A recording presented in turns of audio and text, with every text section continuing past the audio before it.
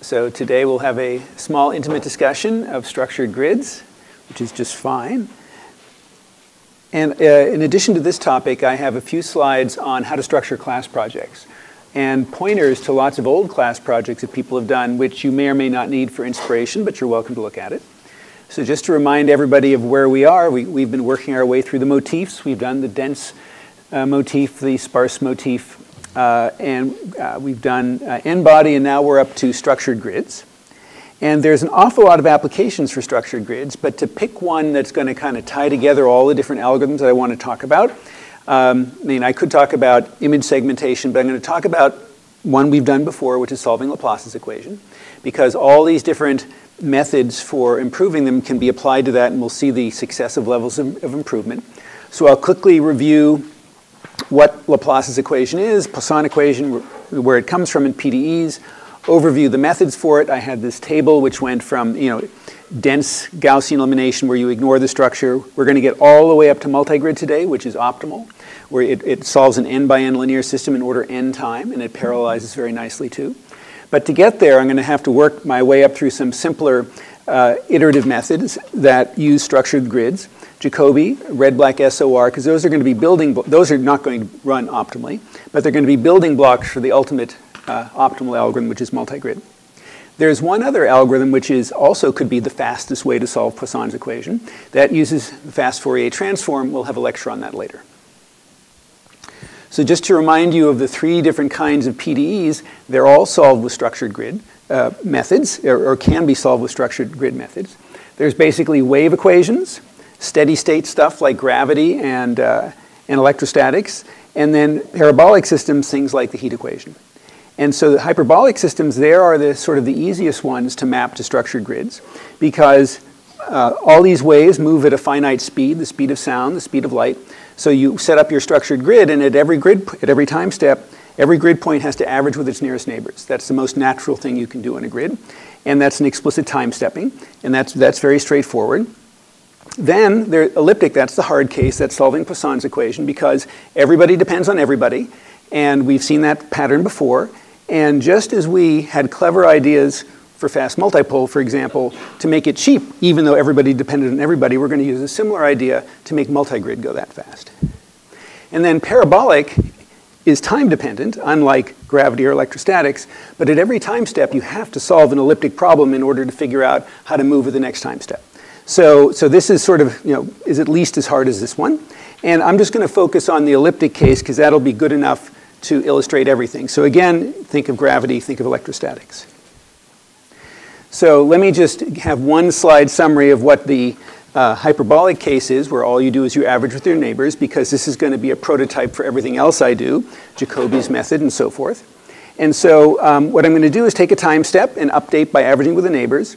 The time step can't get too big. It's going to depend on the speed of waves, and that's discussed in other classes. And so what am I doing in the inner loop? I'm averaging with the nearest neighbors. So this has a lot in common with everything that we use to, to optimize sparse matrix vector multiply. Because I'm just taking linear combination with the neighbors. But I'm going to be able to do even better than what I did before for optimizing sparse matrix vector multiply because now I don't actually have to store the matrix entries. And I don't have to store where they are because it's a structured grid.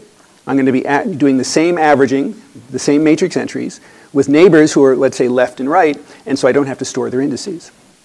And so just to make the notation, which I'm going to use later, I'm going to have uh, a, an array of the unknowns. The first subscript is going to tell me the position, so this is one dimensional. So j is going to go from 0 to 5, say. That'll be the, the position. And then i is going to be the time step. So i equals 0 is my initial time, and then 1, 2, 3, multiplied by some time step. And so I have some initial conditions at time 0. And I have some boundary conditions on the sides when j equals 0 and j equals 5. And then at every time step to update, as the wave you know, bounces from one side to the other, I'm going to take the uh, solution at time, let's say i, and at position j, the solution at my left and right neighbors at the same time, compute some sort of average, and get the answer one time step later. So here's the inner loop. I'm just going to walk through all the time steps, starting from 0, 1, 2, 3. And then for every mesh point, physical mesh point, I'll take the value of, at, at time i, at the current time, of my value j, my left neighbor j minus 1, my right neighbor j plus 1, some linear combination, and get the new value. So this is the canonical thing that you do inside the inner loop of all of these. And there I've just written the inner loop one more time from the previous slide. How do I get to position j time step i plus 1?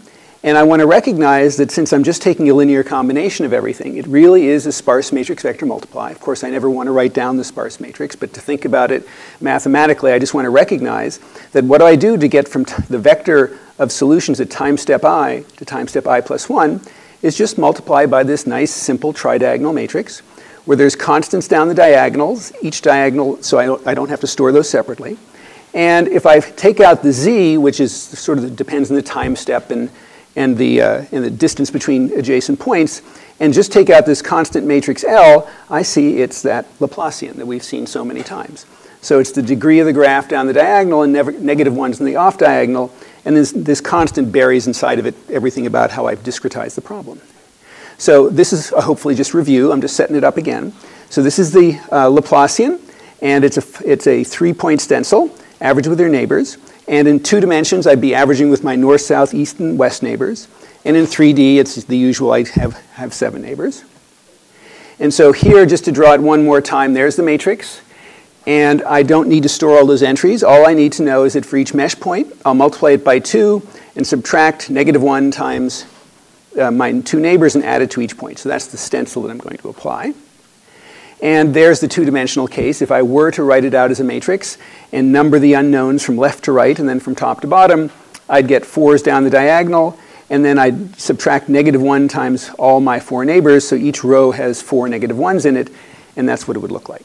So that's solving that in some clever way on this nice mesh is what I want to do. And eventually, my goal is to do it in order n time, even though it's, they're n unknowns, so optimal. So again, just for review, here's the table I put up a long time ago of all the different methods for solving that particular problem for both the two-dimensional case in black and the three-dimensional case if it differs in red. Starting with the algorithm that ignores all the structure, just runs dense Gauss elimination, a really dumb thing to do, costs you n cubed, all the way down to the optimal algorithm that I'll get to today, which runs in optimal sequential time, order n. And, and the lower bound is n because the size of the output is n. If I were to run on a magical perfect parallel machine called a PRAM, where I had as many processors as I wanted and communication were free and I could just do everything, you know, do all the work I wanted at one time, then the complexity is a little bit more compressed. I could do Gaussian elimination in n steps, and these two guys are now log steps. And here's the memory and so forth. So today, my goal, I've talked about all the other ones uh, in other lectures. FFT will be a future lecture. I'm going to talk about Jacobi. I'm going to remind you briefly about conjugate gradient because it also is a structured mesh. I'll do red black SOR, and those two are both the building blocks for multigrid, which will be the optimal algorithm. So let me start with Jacobi. And I'll, I'll just take a couple slides to explain how it works, where it comes from. And so here is the equation I want to solve for, now I have a two-dimensional mesh, so i and j are my, you know, x and y coordinates. And so what I want to do at every point is I want the value of the solution to be the average of all of its four neighbors. So i minus 1, the neighbor to the left, the neighbor to the right, the neighbor below, the neighbor above, and my right-hand side. So I'm solving t times u equals b. u are the unknowns. And this is what I want to be true, so I'm going to create a sequence of iterations. And so m, I'm going to add a third component, and m equals 0 is my initial guess. Then I'll do m equals 1 as my first guess, m equals 2. I'm going to get a sequence that converges. And how am I going to get to my m plus first guess from my mth one? I'm just going to pick my m plus first value to just satisfy this equation perfectly. So on this side, I'll use the mth values, and then I'll pick this guy to be, just satisfy each equation perfectly. So it's just so that, and this is clearly just an, a weighted average of all the neighbors. And so now I've satisfied each equation perfectly, but of course, since I've changed all the values, you know, they're not, all the equations aren't simultaneously satisfied, so, but I will converge eventually. And so it turns out that the number of steps it takes to converge is going to be proportional to the problem size. So if I have a little n by little n mesh with capital N unknowns, then it's going to take about capital N steps to converge. And so since each step updates each mesh point and does a constant amount of work, the amount of work to, up, to take one step is order capital N. So the total work is capital N squared. But that's not very good, but it's still my building block. So this sort of illustrates the fact that as long as I'm my inner loop is going to be averaging with my nearest neighbors, I'm kind of hosed. I can't converge very fast, which is, so, but let me just draw a picture to justify that. And so um, I claim that any method that all it does is a matrix vector multiply in the inner loop, touches the nearest neighbors, has to converge slowly. So here's kind of proof by picture. So suppose I want to solve my system of equations and I only, and let's say I want to just do gravity around the sun. So I have the sun at the middle, and then all I want to compute is kind of like 1 over r squared. So here's the solution, 1 over r squared. And so what I want to do is figure out how, to, how fast am I going to converge when I start, my starting guess is just a 1 in the middle and 0 everywhere else, but this is what it has to converge to. So let's watch it converge. And so my right-hand side looks like this. There's the sun, big mass in the middle, and it's 0 everywhere else. And at every step of my iteration, I'm going to take my solution and average it with its nearest neighbors. So if I'm out here, I'm going to my four nearest neighbors are all 0. When I average them, I stay 0. The only thing that can possibly change after one step is right next to the guy in the middle, right? Then the, the information will go out one grid point in every direction. Let's suppose I do it again. It'll go out one more grid point. I could only have non-zeros two grid points away. And here's what I get after I do it five steps. It's, it's going to be, I can only have touched this guy in the middle, the non-zero, if I'm close enough, within five grid points. And out here, it's flat. That's what happens when information moves one grid point at a time. It just can't move very fast. And so remember, this is where I'm trying to get to. That's the true solution. This is after five steps. What's the best I could hope for for any algorithm that just talked to its nearest neighbors after five steps? I'd have to get zero if I'm far enough away, right? Because I'm only averaging with zeros. The best I could hope for is to get the perfect solution within a distance of, say, five, and then there's a cliff, and then it drops to zero. That's, you know, that's kind of the lower bound on any algorithm could do. The, the best case error is the height of that cliff, where it drops off to zero. And it doesn't drop off very fast, so I can't converge very fast. And so this is going to motivate us later when we do multigrid. I can't just talk to my nearest neighbors. I have to send information faster in order to have any chance of converging at a reasonable rate. We'll, we'll get there. But let me parallelize this because this is still going to be an inner loop inside of multigrid. So just to repeat the, the notation, so U is my uh, vector or my matrix of unknowns, and I want to go from step m to you know, iteration m to iteration m plus 1, and I'm going to multiply it by a matrix which averages with its neighbors. And so what I'm going to do is keep, I'm going to have two copies. I'm going to have the old copy, the mth. I'm going to have a new copy, the m plus first. And, and I'm going to you know, read that, I'm going to write that. And then I'm going to ping pong. I'm going to use this as the old, and I'll update that one. So I'm going to keep going back and forth. This guy will have all the, let's say, even iterates. That guy will have all the odd iterates. So what do I do at every step? So this is going to look very familiar. Suppose that here's my two-dimensional mesh, and I have four processors. I need to assign entries of the vector, mesh points to processors. Here's the way we've done it many times before. I'll assign each one a square grid. And so what does each processor have to do? At each point, it's going to get its four nearest neighbors, and if they're stored locally, there's no communication. It's going to do some computation, so the total work will be the number of mesh points over p, because each processor gets one piece of the work, and there's little n squared mesh points. And how much does it have to communicate? It's the usual boundary stuff, right? So this guy has to talk to a neighbor and get one piece of information. So the total communication is n over root p. So, so that's um, something we've thought about before. And which, how did we think about optimizing communication?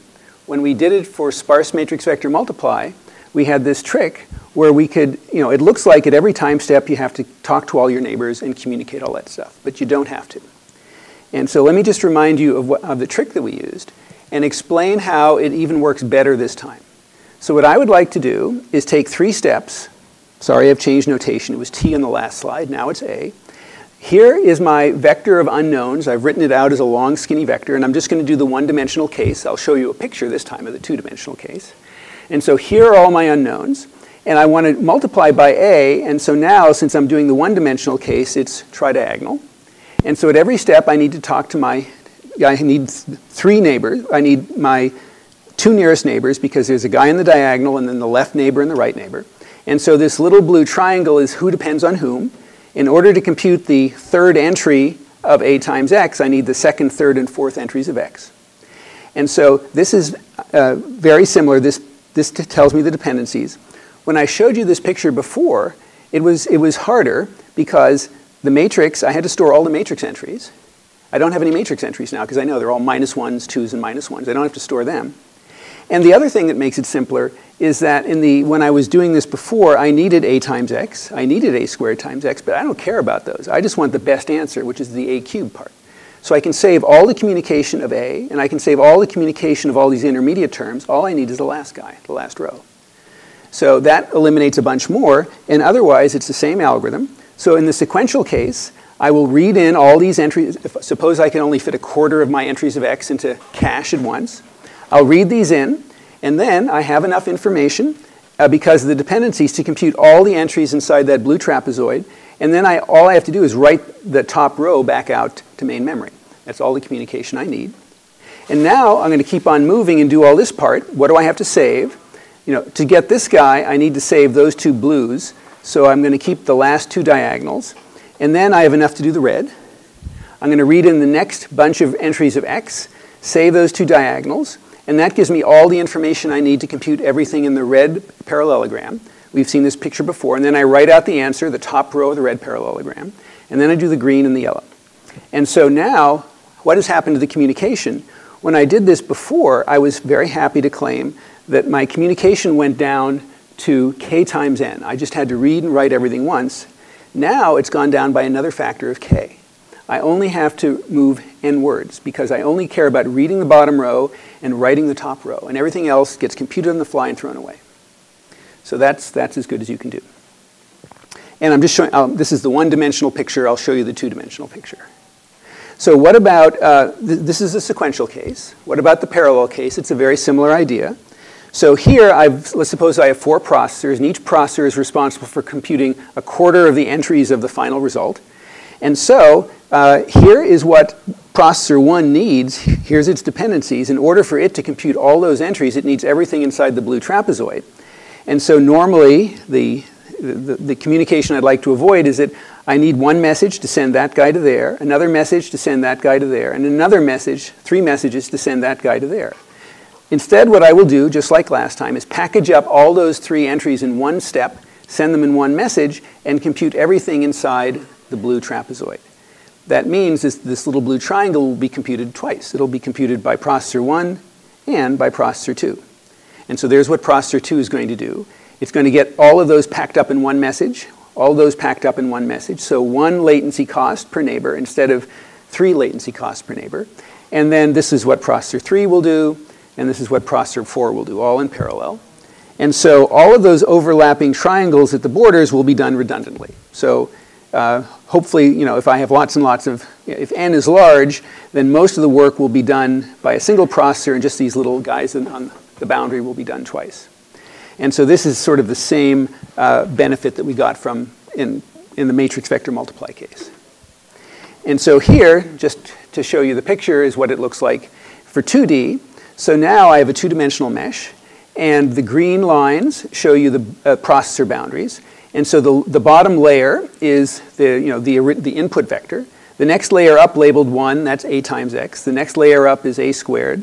And this uh, yellow, excuse me, this, uh, all these little black circles, that's my input data owned by the processor inside those green boundaries. And what does it need to compute everything uh, on the other three layers? It needs all of these ghost zones column. It needs three guys from that processor, three guys from that processor, and it needs these tiny little triangles from the corners. And so it has eight messages, one for each of its eight neighbors, and collects them all, and then it has everything it needs to compute that entire stack of black points. And what's computed redundantly, uh, those red points are, are, input, then these little red circles are redundant, and that, those uh, red circles are redundant. So hopefully not too much. So this, there's a lot of work that's been done on trying to automate this process so that you don't have to do it all by hand. And so um, I'm just going to give you a bunch of pointers to literature where people have been trying to do this. And in fact, people are trying to automate it and put it in compilers.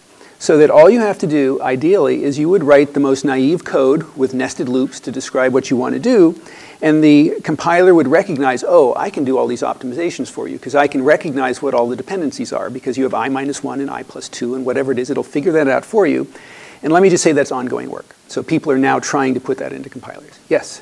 Uh, so, silly question. Is doing the, the five nearest neighbors um, the same thing as doing a squared? Is that, how does it fit together? So let me go back to the picture. So um, let me do it in 1D. Well, so what this guy requires, that's a times x. He requires those three. Let me go back even a little bit farther. So to compute a times x requires those three. So you're asking if I were to apply it twice, what would I need? And I would have everybody inside that bigger blue triangle, which would require five points. And then if I go and ask what is required to compute all of those values, it, you know, follow all the triangles down, take their union, and you get everything at the base. Yes, and in two dimensions, the picture looked um, like this.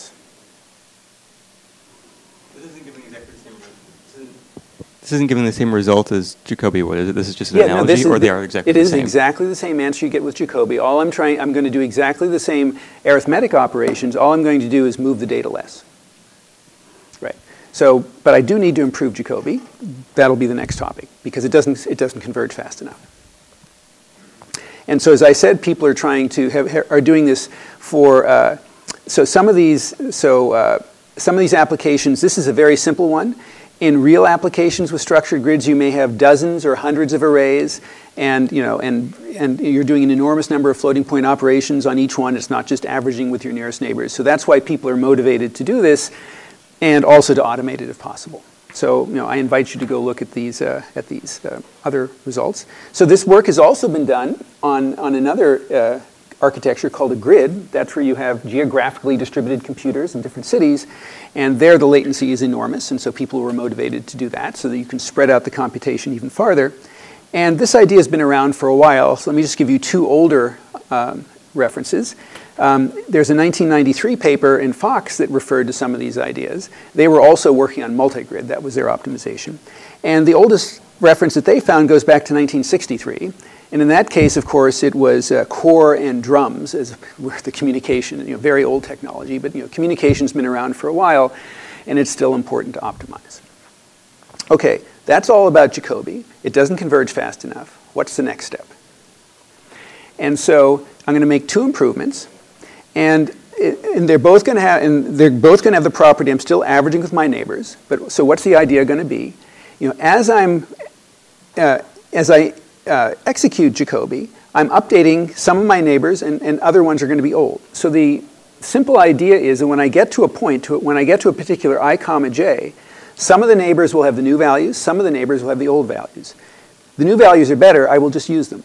So whenever I get to a point and try to get my four neighbors, I will use the most recent data, whether it's from the mth iteration or the m plus first iteration. That will converge more quickly.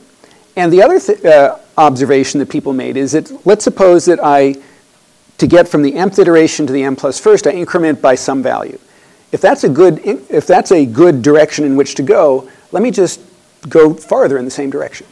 So instead of you know, incrementing it by delta, let me increment it by 2 delta or 1.5 delta. And there's a magic number to pick that people have figured out for Poisson's equation. How much extra far should you go in that direction?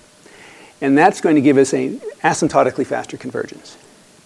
And so, so what I'm going to do is I'm going to look at the inner loop, just to repeat, and the, of Jacobi, it says to get to the m plus first iteration, I use the mth iteration to average. Now I'm just going to use the latest data.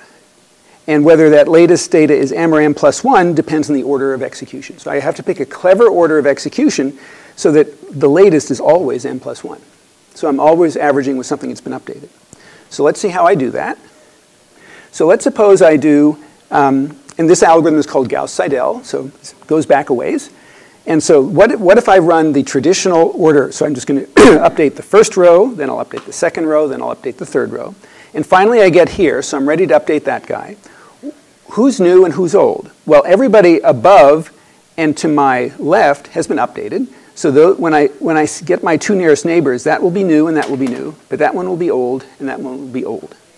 Now the trouble with this is if I ask how can I parallelize it, there's no parallelization possible. I have to do it in this order. If I want to you know, preserve the exact numerical semantics, that I always use the top and left neighbors are new and the right and bottom neighbors are old, I have to go sequentially row by row.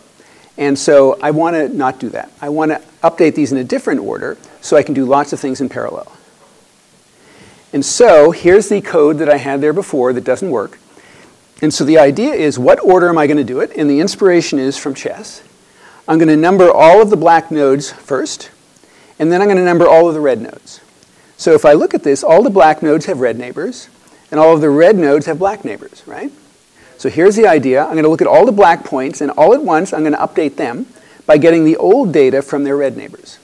Right? So here, to get to the m plus first iteration for a black point, I will get the mth iteration from the red points. They're all independent. I can run them all in parallel. Right? They don't depend on one another at all. Now, once I've updated all the black ones, it's, the red ones need to get, get updated. So the new m plus first value of the red points, I take the black points, and they're all new. So I just grab them all at once. It's all parallel. And so, um, so th that's new, and that's new, that's old, and that's new. So this is called red-black Gauss-Seidel for obvious reasons.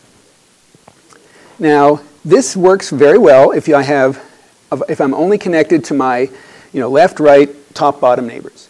I'd like this to work for any structured grid, right? I could be talking to a whole bunch of different neighbors. How do you generalize this? And there's a graph algorithm that works. It's called graph coloring. So what I'd like to do is take each vertex in my graph and give it a color so that its neighbors all have a different color. And for north, south, east, west, we know how to do it. But in general, I could have lots of connections. And so what I'm going to use is that maximal independent set algorithm that I talked about before for figuring out how to do graph partitioning. So what I want to do is pick the largest set I can find where nobody's connected, where nobody's directly connected. I'll give that one color. Then I'll do, run the algorithm again, pick the, pick the biggest independent set out of what's left, give that another color, and just do that until everybody has a different color. And nobody is connected to a neighbor with the same color. And that way I can, you know, however many that takes, well, there's a famous theorem called the uh, four-color theorem. I know that if my graph can be done in the plane, I only need four colors, and it would take four parallel steps.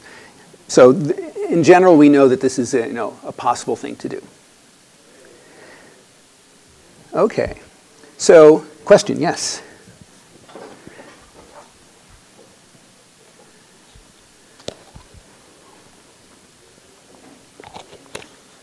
What is the computational complexity associated with doing the graph coloring problem? So the algorithm that I think we talked about before was a, um, uh, a simple greedy algorithm which ran in linear time. And so I didn't talk, so you simply, you know, visit all the vertices in some arbitrary order, and if uh, you find one who's not a neighbor of anybody you visited before, you just grab it and put it in the set. So it's all linear. Now, uh, that's not parallel. Um, and so there are ways you could imagine parallelizing it, but you know th that cost would be um, uh, amortized over running this, the rest of the algorithm many, many times. So, um, but I think you can probably parallelize the uh, graph coloring problem too in a fairly natural way. But I, yeah, I couldn't, I, would have to look up a reference for you. Any other questions? Is that, is that uh, close enough? Yeah. Okay. So, so, so this is part of the improvement. And so it turns out that if I do just what I described, always use the most recent information, it converges exactly twice as fast as Jacobi for the Poisson equation. That sounds good, but it also takes twice as many parallel steps. Right? If I think about Jacobi, everybody can update it, be updated in principle in one parallel step. But if I have to update the reds first and then the blacks, it takes two steps to make as much progress as one step of Jacobi. So, so it's a good idea, but it's not real asymptotic progress yet. So the next improvement is that what I'm going to do is let me just look at the inner loop of the algorithm, and it, they all look like this. To get from the mth iteration to the m plus first, I add something, right? So, and, and there's a formula for it in the previous slides. I, I don't need to repeat it. So the idea is if this is a good correction, if it's a good direction to move, I'm just going to move farther in the same direction. So I'm going to pick a magic number, w, bigger than 1, and instead of adding the correction, I'll add w times a correction. And this is called over-relaxation, right? Because I'm going farther in the same direction. And it parallelizes exactly the same way. The formula is almost the same. I just have to pick this magic number. And it turns out that for Poisson equation, people have analyzed this very carefully, and here is the magic number. It's 2 over 1 plus the sine of pi over n plus 1. And, and this is the topic of a different math course that I teach. And, and it, the good news is that uh, the complexity goes down dramatically. Instead of taking n squared for n by n mesh steps to converge, it takes n, the square root of as many steps. And so the complexity now has gone from the number of steps times the cost per step, and that was n squared cost per step times n squared steps. So n to the little n to the fourth, or capital N squared. So capital N is the number of mesh points for Jacobi, and now I'm down to capital N to the three halves. So that's a, a nice asymptotic improvement, but it still you know, is a long way from multigrid. I would like to do it in order capital N. But this is going to be a building block. So let me now just remind you of one, uh, so any questions about SOR, the abbreviation for this?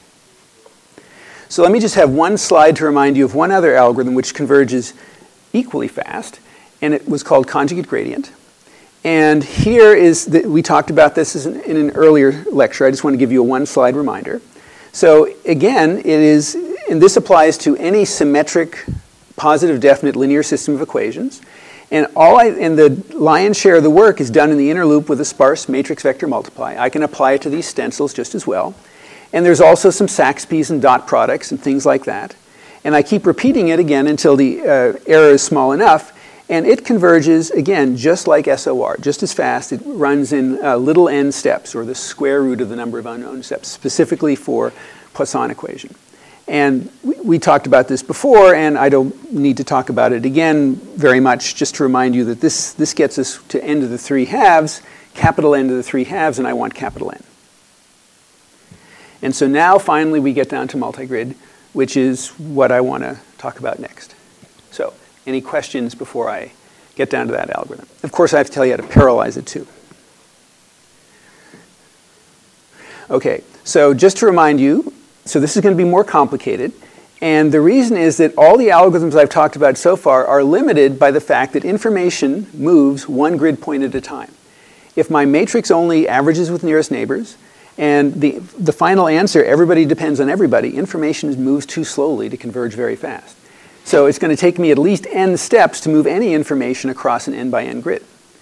I want to converge in order one step. So I have to move information faster. And so I have to do it with something other than matrix vector multiply. And otherwise, I'll be stuck with this situation that I had before, where I, you know, the, informa- the best solution I could have after five steps is I get this cliff. So what's the, what's the idea? And it's the same idea we've seen before. This is the third time we've seen this big idea. And remember, any trick used three times is a standard technique, so now this is a standard technique. So if you're far away, things look simpler, right? And so for gravity, we've seen that for fast multipole. And so what I'm going to do is for stuff that's far away, I'm going to approximate it uh, by a simpler solution. I'm going to use a coarse solution and, uh, and use that to get an initial guess and repeat that recursively. So for graph partitioning, this is, so here are the three examples where this idea came up. So for graph partitioning, I replaced my graph with a coarser graph by leaving out every other mesh point. For fast multipole, I approximated you know, the Andromeda galaxy by its center of mass. And in, for multigrid, I'm going to replace my fine mesh by a coarse mesh. And I'm going to solve the problem on the coarse mesh approximately, get an initial guess, and improve that. And, but my coarse mesh is still only going to be half as big. It's still enormous. I'll approximate it also by half as big a mesh. So I'll have a sequence of meshes, each one half as big as the other. Each one as a start, give me a starting guess for the finer mesh. So let me draw some pictures to say what I mean. So here is, let's say this is what my solution is on my two-dimensional mesh. It's a nice smooth surface. And what I'd like to do is have some assurance that I can approximate it reasonably by something coarse. So here's the same function on a a mesh which has half as many points in each direction. So if this is n by n, this is n over 2 by n over 2. And since this was nice and smooth, we can agree that that's a reasonable approximation for that. But I can't depend on that entirely because I may have a solution that looks like this, and I still have to be able to approximate it somehow uh, with this kind of coarsening. So I need to have some way of saying that of generating a, an approximation on a coarse mesh which captures enough information to be useful to approximate that mess. Okay. So here is the basic algorithm. At every step, I'm going to replace my problem on the fine grid by an approximation on the coarse grid. So find a coarse. I'll solve the coarse grid approximately. And use that as a starting guess for this guy. And then, since this is still very big, I'll do the same idea recursively. And so, but somehow I have to convince you that if this is really jaggy, it's worth doing. So I will have to use, uh, and I'll, explain that with a picture of why that works. So to define the algorithm, I need some notation. So let me just tell you the notation in, in 1D, and then I'll draw a picture in 2D. And just to keep it really easy, I'm going to assume that the number of grid points I have is 2 to the m plus 1, so that every time I leave out every other mesh point, I get something of half as big. I'm going to let my problem solve the Poisson equation. Be sol- uh, I'm going to use this superscript to mean I'm doing it on the mesh of size 2 to the i plus 1. So, so P, let's say, so PM is my finest mesh, and then PM minus 1 is going to be my next finer mesh, and so forth. And so here's a picture. And so here is my incredibly fine mesh of nine mesh points. So they're all the black dots. Gonna, i want to solve Poisson's equation on those nine points. And just to keep it simple, I'm going to assume that the points at the end are fixed. Those are my boundary conditions. So the unknowns are just the seven guys in the middle. So here I have, uh, I have 2 cubed plus 1 or 9 points, but it's only these 2 cubed minus 1, these 7 points that are the unknowns. And these are just fixed boundary conditions. And I'm going to write the linear equation of this dimension as ti times xi equals bi. And so, and here's my sequence of problems. So P3 is solves it on nine points. P2, I'm going to take the every other point, they're labeled in red. I'm going to get those five points. That's P2. And then I'm going to take every other point, get the points labeled 1, and I, my, my coarses problem just has three mesh points. And that's a boundary condition. That's a boundary condition, so I have one unknown in the middle. And I can solve a one by one system. That's my base case. So that's the one-dimensional case, which is, you know, it's multi-grid's not worth doing in one dimension, but it's easy to draw the picture. Here's the two-dimensional case. So I'm going to have a p to the m plus 1 by p to the m plus 1 two-dimensional grid. So there's my 9 by 9 grid when m equals 3. And I'll take every other mesh point uh, and I'll call that uh, P2. That's my next coarser problem. So all those points are the black dots here. There's, that's my 5 by 5 grid. Take every uh, other mesh point again, and finally my coarsest problem, there's one unknown, and all of these points in the outside are boundary conditions which are given to me. And again, all the points in the outside are given boundary conditions. So I'm going to approximate this, you know, the fine points by the twos, the twos by the ones, and that's the way it's going to work.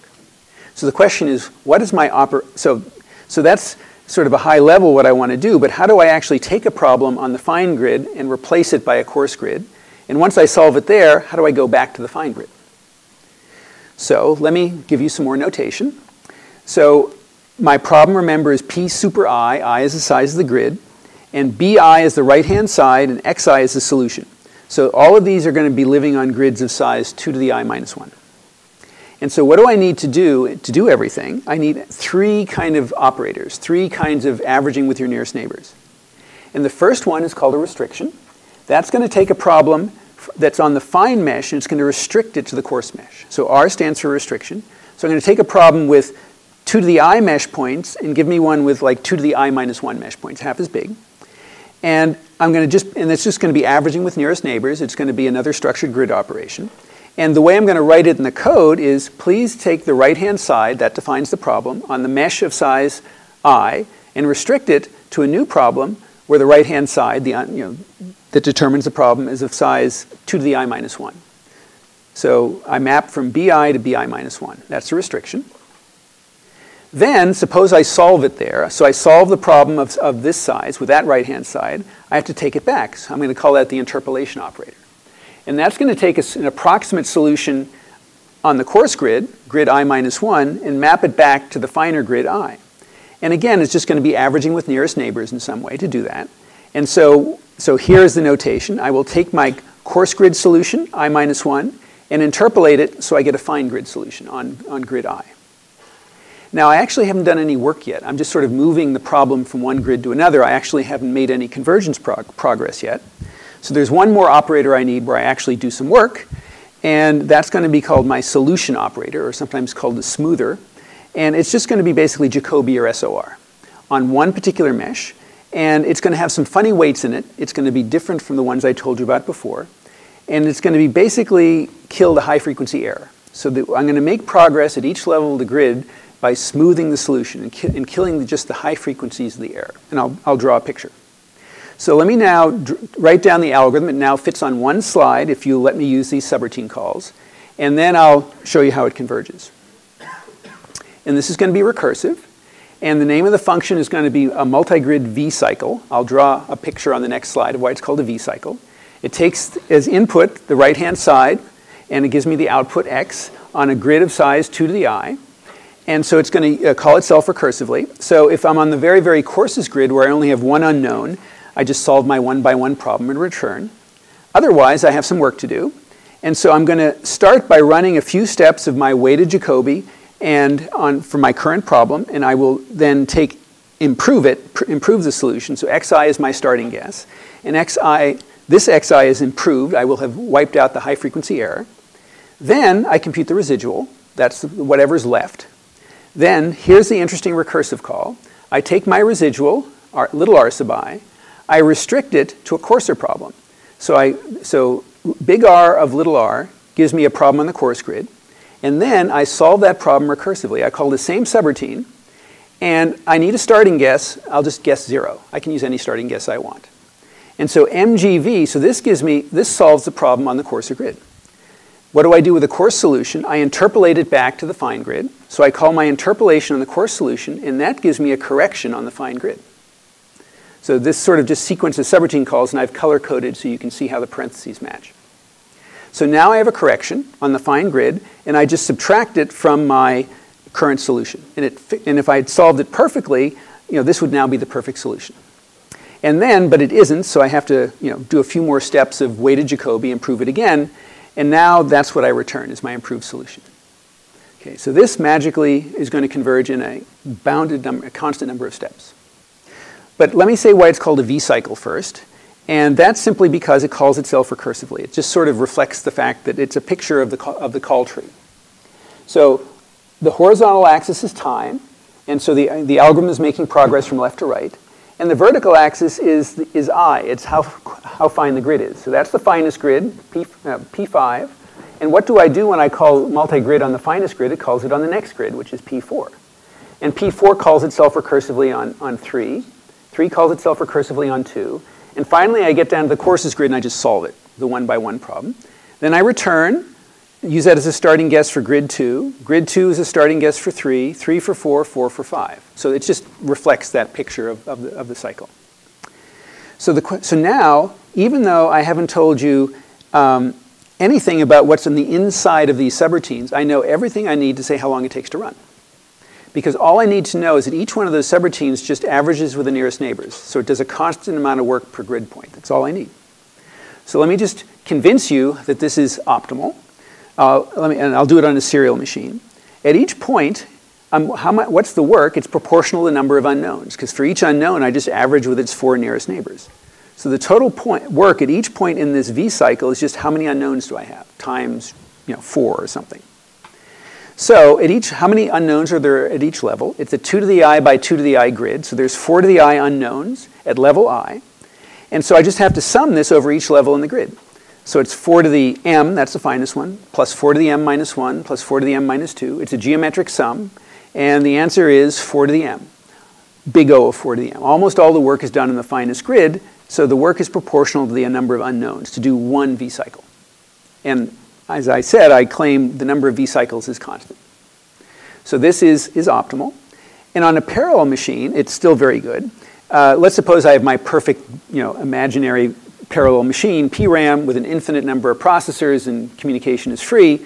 One processor will update each mesh point. So that means that each of these is going to run in constant time. So I just have to count the number of black dots in order to count the time. And, if, and how many black dots are there? Well, it's the log of the number of mesh points, right? It's, it's m, and m is log of the number of unknowns, because the number of unknowns is 4 to the m, so take the log.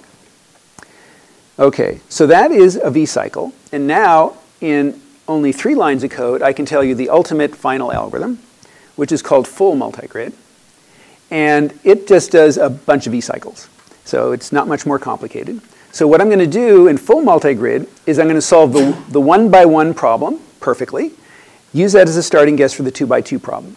Then I'll solve the 2 by 2 problem by calling a multigrid V-cycle.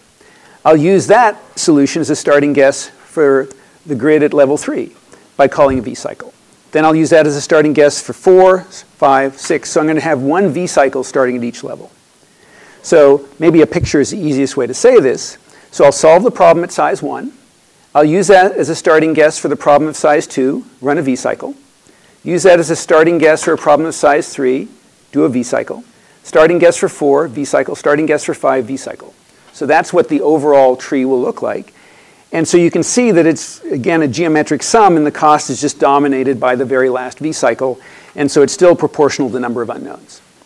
Uh, and in the PRAM time, um, this, um, this is going to cost me m. That's going to cost me m minus 1, m minus 2. So I get the log squared of the number of unknowns instead on this perfect parallel machine.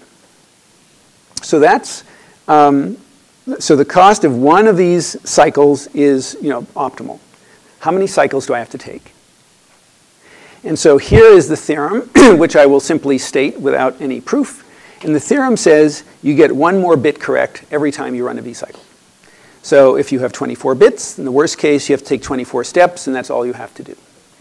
And uh, so the error after, after you do a V-cycle is less than or equal to one half the error before the V-cycle. So one bit each time you do it. And so this is the most important feature of multigrid, which, you know, unlike all the other problems where the, you know, the bigger the problem, the slower it converges, here that's not true. It's independent of how big your problem is. It always converges at the same nice constant rate, which is why people like to use it. Okay. So now I'm going to tell you what the actual operators are. But this is sort of the complexity, so now we understand all there is there. So let me tell you operator by operator what we do, and I'll just show you in, in one dimension. And as I said, it's basically Jacobi. So this is the solution operator, eh, or smoother it's sometimes called. And so at each step, I'm going to take, replace my value by some weighted average of the nearest neighbors. Now what would pure Jacobi do? Pure Jacobi would take the neighbor to the left, the neighbor to the right, the right-hand side, and multiply them, add them up, and divide by a half. The only difference with weighted Jacobi is I'm going to multiply by a third and average in my own value.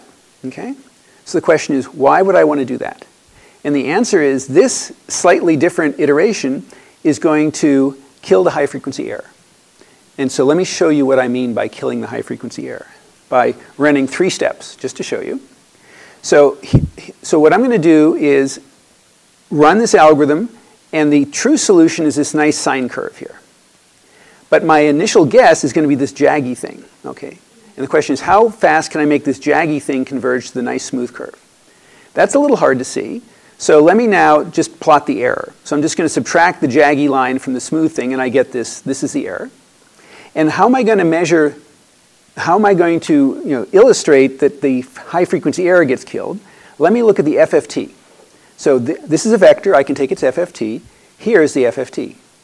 And so each of these points tells me how much, what component of this appears in each of these little sine curves, right? That's what FFTs do. And so up here, these components, those are the high frequency errors. And down here, these are the low frequency errors. So, and the two norm of this vector and the two norm of that vector are the same, because that's how FFTs work. And the norm is about 1.65. So now, let me take one step of that Jacobi algorithm. And, and I've drawn the picture here, but it's easier to look at this, which is the error. And it looks smoother, doesn't it? This somehow isn't as jaggy as that one. But the way to see that is actually to take the FFT, because the FFT tells me exactly where the frequencies are. And so here's the FFT of the error after one step. And look at the high frequencies. They've all been smashed down. That is reflected in this curve looking smoother. And the uh, norm has gone down a little bit from 1.65 to 1.06. Let me do it one more time. I'm going to take one more step of weighted Jacobi. This looks even smoother. And now look at that. There, look, there's not much left up there in the high frequency errors. So in fact, what you can prove is that every time you do a weighted Jacobi, all of these frequencies get multiplied by one third or less. So it's guaranteed to go down by a factor of one third at every step. That comes from you know, using all of these, this particular set of coefficients. And in 2D, there's a similar idea. So, so let me sh show you why this guarantees that we can converge in a constant number of steps. What we're basically doing is dividing, divide and conquer on the frequency. So here, I've drawn a cartoon of the FFT of the initial error for all the frequencies. And what I just showed you is that if I just run it on the course's grid, I zap everything in the upper half of the frequencies. So all of these guys are going to go away. So now what do I do? I take every other mesh point. I only have, so I've coarsened my grid. And it turns out that coarsening the grid means I can't see these high frequency errors anyway. I can only see the bottom half. So on the coarse grid, these frequencies show up. And when I do smoothing there, I kill the, high the, the upper half of all of those. So on the fine grid, I kill the upper half. Then on the coarse grid, I kill the upper half of what's left. I do it again. I take every other mesh point, and since my grid is coarser, I can only see the bottom half of the frequencies, and I kill the upper half of those. So every step of multi-grid kills the upper half of whatever frequencies are left. And the intuition, perhaps, is that on a coarse grid, I can't have things wiggle very fast as on a fine grid. So I can only see half the frequencies I saw before. And it's the lower half of the frequencies. And this is, you know, can be used to do a proof, but we won't do that. So that's the smoother operation. It's averaging with your nearest neighbors with, with these nice simple coefficients. And in 2D, there's a similar average. So what about the smoother and, and, and the restriction? Um, the restriction and the interpolation, they're also very simple. So what does this guy do? The restriction, remember, he takes a right-hand side, a vector on my fine mesh, b sub i, and wants to map it to a coarser problem, which is in a, a vector that approximates it using every other point. So this is a very simple idea. So suppose my dotted line is my fine mesh point. So there are 16 points, and they're all connected by this dotted line. And I want to approximate that curve by, some, by using only every other point. So the easiest thing to do is simply take the even numbered points, right? I'll take that point, that point, that point, and connect them by a solid line. And that's one way to approximate it. That's a simple projection. It turns out you can do a little better by averaging with your neighbors. And so this point here is going to be a half times him plus a quarter times those two nearest neighbors. So a quarter times the left, half times myself, a quarter times the right. And that gives me this different black line, and that turns out to converge a little bit faster. So this is, again, just averaging with my nearest neighbors, but that's going to be my restriction operator to go from the fine dotted line to the coarse solid line. And in 2D, I have eight neighbors, but there's a similar weighting. And interpolation, it's even easier to think about. So now I have a coarse approximation. Every, you know, I have eight points. And what I want is 16 points. So I'm just going to, you know, connect the dots and pick my point halfway through. And so when I, if I'm given these eight points and I want a 16 point version of it, I'll just, you know, take the midpoints of all those line segments. And, and that, so it's just a very simple interpolation. And in 2D, again, I have to just average with my nearest neighbors. But I may have four neighbors instead of two, depending on, on the grid. So now, let me show you how fast it converges. And I'll just show you two pictures to convince you that it does actually converge in a finite number of steps. I'll show you a 1D convergence, all the details, and then a 2D convergence. So I want to solve Tx equals b, one dimensional. Here's b. Here's my right-hand side. It's zero almost everywhere, except there's a plus a half and a minus one half and then a plus one and a minus one. So four non-zero entries. And here's the true solution. So it's kind of jaggy. So this is my input. This is what I want for my output. I'm going to run multigrid, and I'm going to say how fast does it converge after each uh, multigrid V cycle.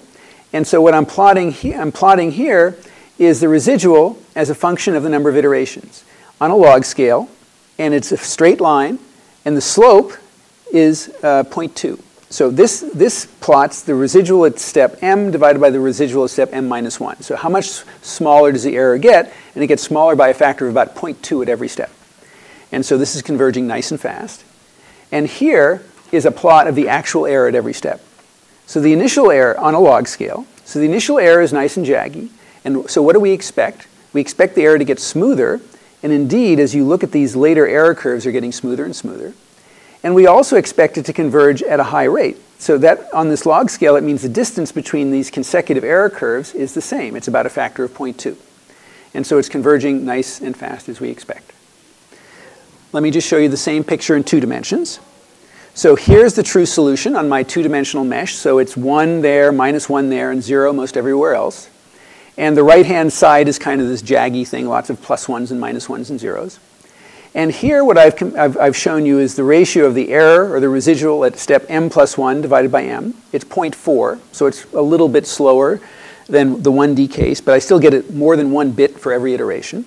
And there is the residual, you know, on a log scale, and it's sloping downhill with a slope of 0.4.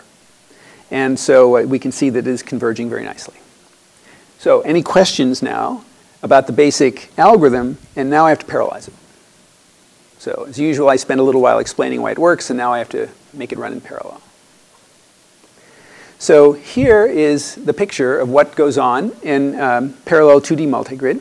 It's going to be using Jacobi on the inside, so no surprise, it's a lot of the same ideas. So here I have a 32 by 32 grid of points, the little dots, and on a and I have a four by four grid of processors. So each processor is going to own a square subgrid and, and be responsible for updating all the points in the inside. It's the same idea. The question is, who do I have to communicate with and how much? And so I'm, I'm labeling the points to make that a little bit clearer. I'm starting with um, uh, a 32 by 32 grid of fine meshes. So I've labeled all the fine mesh points by five, at least the ones that processor owns. Then every other mesh point I take to get the, P, the problems of, of size P4. And then the problems on problem P3, again, take every other point of the four, and they're two. So when I, by the time I get to here, each processor only owns one unknown. It does not going to have much work to do. And if I go to the next coarser grid, some processors are going to be idle. That, that's what happens in this business. Once I make it coarse enough, some processors will have no more grid points and will just sit there idle. I may ch choose not to do that, but at least that's the simplest thing you can do. And so here, this picture says, who do I have to communicate with? So let's just look at this. So let me ask, what does the pink processor do at every step of a V-cycle? So on the coarsest level, at each level, he's going to average with the nearest neighbors, whether he's doing smoother or interpolation or whatever. It's always averaging with your four nearest neighbors. So for the, uh, some point in the middle, the four nearest neighbors are all stored locally, no communication. It's only when you're on the boundary that you have to talk to a neighbor. And so let's suppose I'm updating the blue points on the finest grid. If I'm here, I have to get everybody who's labeled 5 sitting on the, on the neighbor. And so I need to talk to my um, uh, eight neighbors and get all of the points labeled uh, 5 in blue. Then on the coarser grid, again, so now I'm only going to have every other point. Let's suppose this one. So now my four neighbors are there, there, there, and there. These two are local. Th that number 4 and that number 4 are on different processors. So again, there's communication involved, but half as much as before. And it's still the same eight nearest neighbors. Then when I get to the points labeled 3, that one, that one, that one, and that one, my nearest neighbors are there, there, there. Well, you can see them. They're labeled 3. So I'm, again, I'm getting half as much information from my neighbors, but it's the same eight neighbors. And finally, at 2, I, I need one number from all my neighbors. And so this is the picture. And that's all I need to know to write down the complexity, and I get a bunch of geometric sums, and for the same reason as before. So here's a slide where I write down all the complexity. And, but now it's a little bit more interesting because there's two cases. There's the case where every processor owns at least one. Those are the finest meshes. And then at some point, the, the, the grid has gotten so coarse that there's some processors that are idle. And so um, I'm, I'm only going to compute the complexity for the guys who need one piece of data from their neighbors. And so what do I have here? I'm going to start with an m, you know, 2 to the m by 2 to the m grid of, of points. So here it was 2 to the fifth by 2 to the fifth. I'm going to assume I have 4 to the k processors arranged in a 2 to the k by 2 to the k grid. So here, in this particular picture, k is 2, because it's a you know, 4 by 4 grid of processors. And I do a 1 V cycle, and I can count the number of flops at each level. I can count the number of messages, which is 1 for each neighbor. Alpha is the latency and I can ask how much do I actually have to send. It's, it's a you know, the length of a side, and that's 2 to the j minus k times the reciprocal bandwidth. And so I can sum up all of these layers, sum it from j equals 1 to, to k, and I get these formulas. And so let me just put it all in a table so we can just compare it. So you can do the algebra yourself.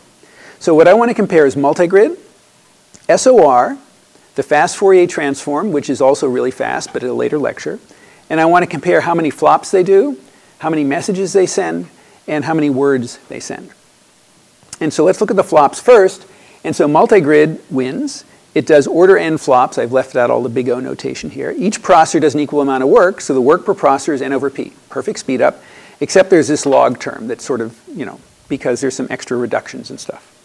The FFT also speeds up perfectly, but it does n log n flops, uh, parallelized by p.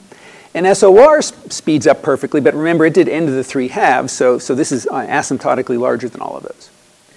So let's now go look at the number of words sent. I'll leave messages for last. So the number of words sent is basically the square root of, uh, for multigrid is the square root of the number of flops. So this is asymptotically much, much smaller. So hopefully it, doesn't, it isn't too, too bad. And again, there's a little extra log term. The FFT and the S and SOR are asymptotically worse, right? They, they take the square of the number of words sent. So, so it looks like multigrid is winning. But now let's look at the number of messages. So the number of messages here, they're not really strictly comparable. Well, I mean, SOR loses, but is log n squared bigger or is the square root of p bigger, right? That depends on the relative sizes of n and p. And so depending on your particular platform, it's not clear whether multigrid or FFT will win, you know, because this term could be dominant and either one might be dominant. So that's why they're, they're both used in practice. You know, they're, they're both good ideas. Okay. So uh, let me talk about some practicalities. So this is the most basic algorithm where we can sort of see regular meshes. So in practice, you don't all go down all the way to a one-by-one problem. There's just way too much overhead. We've seen that before. So you stop when it's a bit coarser, and you use some other solver on that. Uh, you may also choose to say, uh, I'm going to take my problem because I have too few um, unknowns per processor and just map the whole thing to fewer processors and run it all on fewer processors. People do that. Um, in the sequential code, the coarsest grids are negligibly, negligibly cheap because you know, you're doing a one quarter of the work at each level, and so you'd say, oh, this is asymptotically negligible. But on a parallel machine, the coarse grids can still be very expensive. So let me just give you an illustration. So suppose I have a thousand points, you know, so I have a fairly big chunk of data on a processor. So I'm going to do about, you know, order a thousand flops on them. Let me ask, how much communication do I have to do? Well, if it's a two by two mesh, those thousand points are going to be organized in a square root of a thousand by square root of a thousand grid. It's going to have four edges, and so four times the square root of a thousand is 128. So there's going to be 128 words communicated, and that's you know a sizable fraction of a thousand. And what about in a 3D mesh? So my thousand points are occupying a 10 by 10 by 10 grid, right? That's a lot of points, but how many points are on the boundary?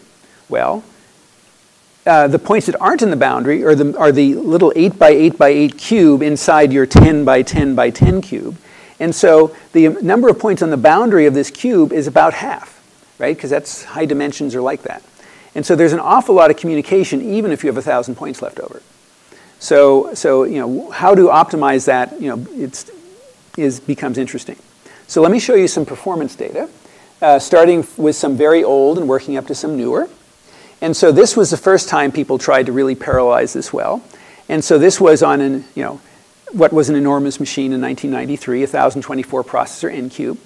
And so they first started off with a 64 by 64 grid, overall 1,000 processors, uh, again 2D. And so there were only four unknowns per processor. And you can imagine the efficiency was pretty bad. It was point, you know, 2% efficiency if you ask. So efficiency means how, how much time do you spend overall versus just the flop? So this meant it spent most of its time doing, uh, most of its time doing communication because it was only 2% efficient. And the full multi-grid where I did multiple cycles was even worse, you know, 0.8%. But when they got up to a 1,000 by 1,000 grid on a 1,000 processors, that was enough to keep all the processors pretty busy, and it was 70% efficient for multi-grid and 42% for the full multi-grid. Um, so this machine made their problem easy because the communication was really fast and the processors were really slow back then. So, but this is still a problem today. Um, Chombo is a code they use at LBL, and it's used for adaptive mesh refinement. And again, it's the communication in the coarsest meshes that is killing them, and they're working on optimizing that. So, so now let me continue with saying how real codes look on real multigrid. So for starters, people don't run it on regular meshes all the time because the real world is not entirely regular. So here's an example of a molecular dynamics simulation. So here's a bunch of atoms and, and so forth. And what you really want is a very accurate value of the electrostatic potential near the atoms, and you don't really care about this open space, right? Because nothing's moving out there. So your mesh is going to be very fine near these atoms, and it's going to be very coarse out here, and you still want to solve the Poisson equation on this. So this is called an adaptive mesh the, the mesh is going to depend on your problem and it's going to move as the particles move. And so you, you, know, you want to solve this by using lots and lots of little structured grids. So that little grid there may be a perfectly you know, n by n mesh, the kind we just looked at, but you know, some of its neighbors are coarse, some of its neighbors are fine, and your data structures have to take that into account.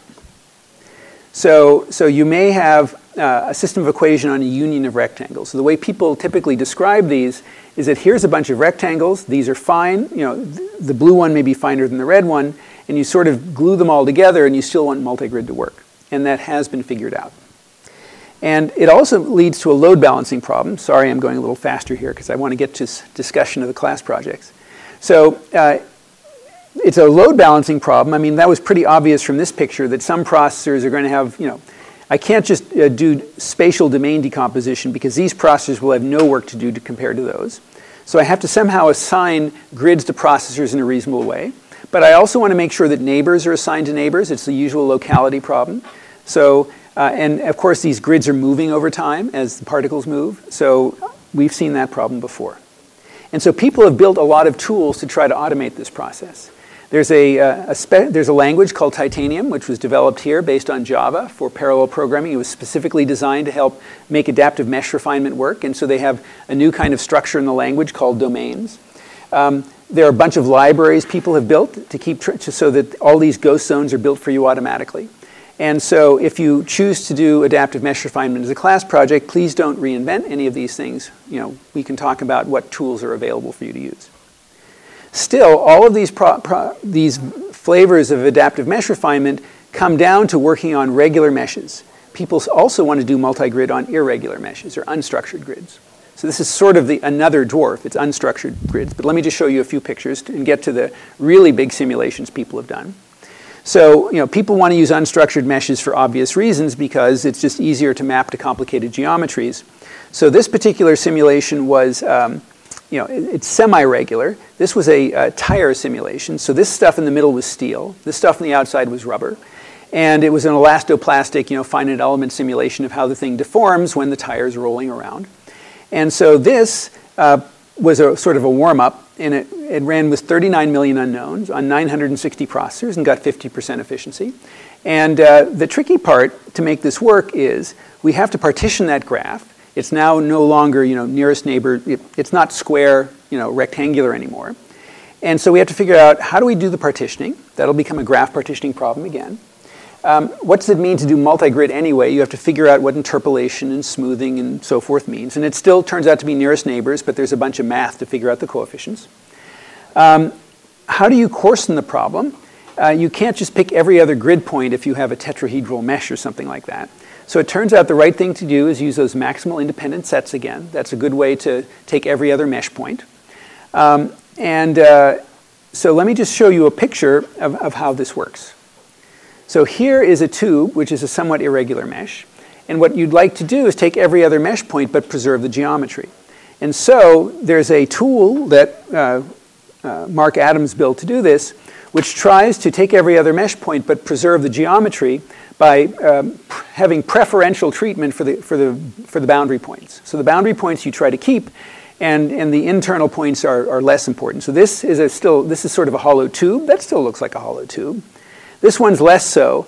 And finally, that one is, you've kind of lost the geometry because it's kind of hard to keep it all when you coarsen so much. But this is what people try to do as they coarsen. So let me finish with one uh, prize-winning example of an enormous multi-grid simulation. And here, the goal was to understand when a person with osteoporosis falls down, are they likely to break a bone? So that was sort of the motivating biological application. And the way science begins is you take uh, a bone from a cadaver and you create a very detailed finite element model of this bone. And, you, and then you exert a force on it, which would be the same force from the elderly person falling in a certain way, and you ask, would it break? Now, what do people do today in order to you know, give advice to elderly people? They measure the bone density. It turns out bone density is a pretty rough, not terribly accurate way of saying, do you need to have treatment for your osteoporosis? And so it would be much better to do a very detailed finite element model. So how did they do that? So they took this bone and they needed to discretize it. So how do you get all the information out from the inside of that bone? You use what's called a micro CT scanner. So you put it in this box and you irradiate it with a lot more radiation than a real patient would use. And you come up with a very detailed 3D image that's good down to 22 microns. So you can basically resolve every last detail of that bone. And of course, most of it's open space, right? Because that's the way bones are. And so this is what the 3D image looks like. And then you can discretize it. You can build lots of little 3D elements um, just following the, the 3D image. and run a finite element model on that using you know, the mechanical properties of bones.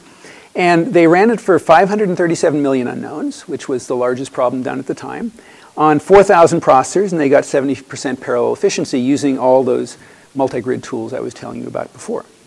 And this won the Gordon Bell Prize in 2004, and it has since become actually uh, commercialized in a startup.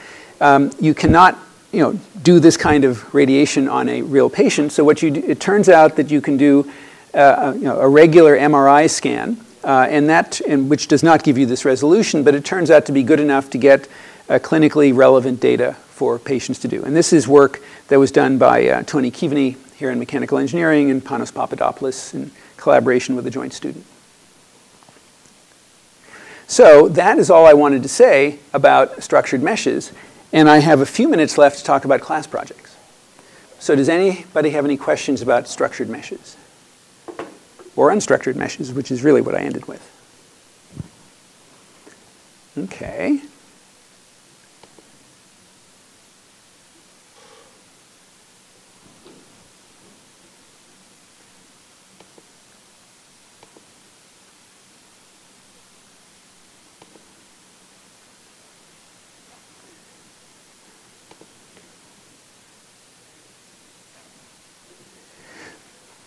So I wanted to give some high-level advice on what a class project looks like and give you pointers to lots of old ones so you can see what people have done in the past just to give you, you know, some, some inspiration. So there's lots and lots of different kinds of projects that are possible, and that reflects the fact that the people, you folks, are come from many different departments. There's lots of great projects that can be done depending on your background. But basically, you should think that you have to do one or more of design or program or measure some parallel application or kernel or software tool or hardware. So it's a cross product, design, program, or measure, and then application, kernel, tool, or hardware. And you can work alone or in a team, whatever, whatever you want to do is fine with me. One of the reasons for Homework Zero was posted, where you, you know, described something you wanted to parallelize, was to help you identify possible teammates.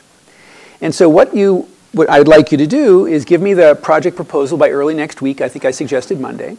And then we'll have a conversation, right? You know, it's not a final proposal, it's a conversation. And I'll give you some feedback. And then we're going to have a poster presentation. And I believe that's going to be Thursday of RRR week.